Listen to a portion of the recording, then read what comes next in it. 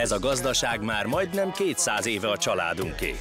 Főállású állatorvosként és gazdálkodóként a napot sosem ér vége. Mindig ezerféle dolog történik a farmon.